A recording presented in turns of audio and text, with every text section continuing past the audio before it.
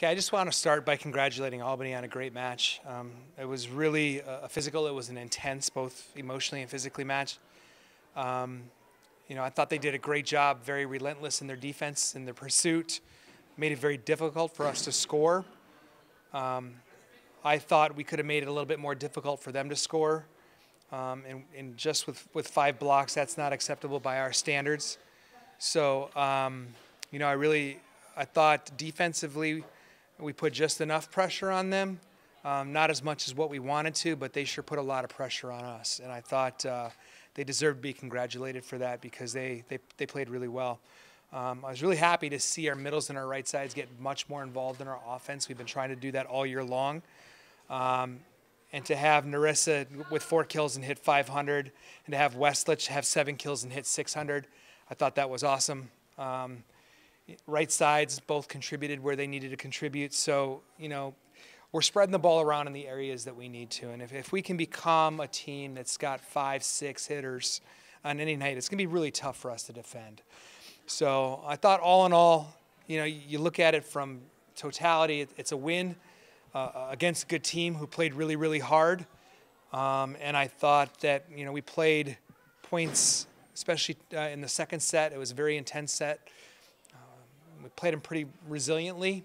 Uh, we had to get, I think, some six side outs in a row that we had to get, and we were able to do that. So um, that takes toughness to do that. We have that toughness.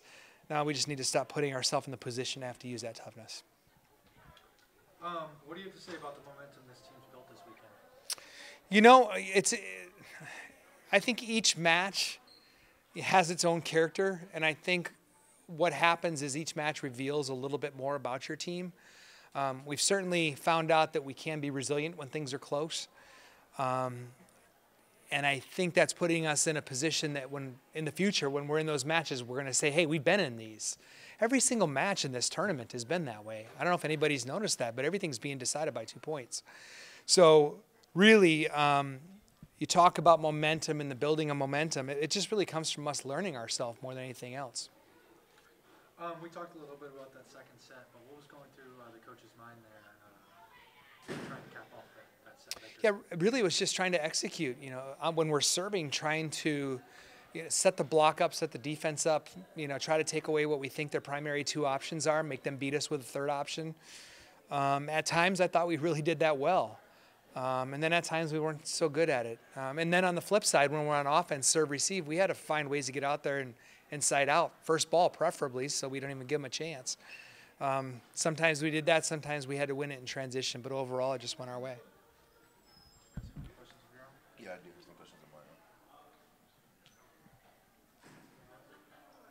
Okay, so coming off of the win yesterday versus South Carolina, um, what kind of confidence did you give you going into today's game? You know, I think each individual match is its its its own trial, and um, I think we're trying to build our confidence as a whole, uh, not even so much from match to match. So, what does South Carolina do for us? You know, allowed us to believe that we can go on the floor with a good SEC team and, you know, we can go beat them. Um, I think more than anything else, what it does is it shows that we can play with composure, we can play with resiliency down the stretch. And so, those are things that we're going to need as we go forward. Um, but I'll tell you, a, team like Albany really tests that. They, they really test your resolve and they wait for you to make a single mistake. And the moment you do, they pounce on you. And you'll notice every mistake we made ended up in a two or three point run for them. So I give them a lot of credit. Uh, what's the game plan going against a uh, good Kansas team? I'm not telling you. I, am not giving you anything. Right now, I think uh, Kansas is physical. They were just in the Final Four not that long ago. Um, they jump, they hit from every position on the floor. We have to really, right now, where we are, we have to worry about us. I mean, we're playing two opponents sometimes when we're out there. Not only are we playing a great team across the net, we're playing ourselves and our own growth. And so I think we're, we're going to worry more about the opponent that's on our side of the net versus the other side of the net, and hopefully that'll take care of the other side of the net.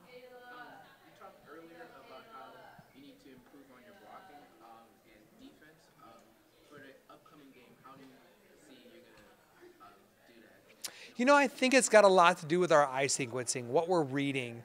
Uh, as soon as the pass comes up, we have to figure out who's available, what options do they have. We have to make the, the right reactions to it. Um, not so much who's their hot hand or who they've been going to, but seeing what they have remaining after the pass. Do they have all three hitters, two hitter, just one hitter? We've got to be more disciplined. And then starting at the net, our setup blocker, our two outside blockers have to do a better job of just getting around the ball, surrounding the ball, letting the middle get to them, and creating the best block we can. Any more questions, guys? All right. All right. Thank Coach. No, thanks you guys. Appreciate it. Thank you so much. Congrats on the win. Thank you.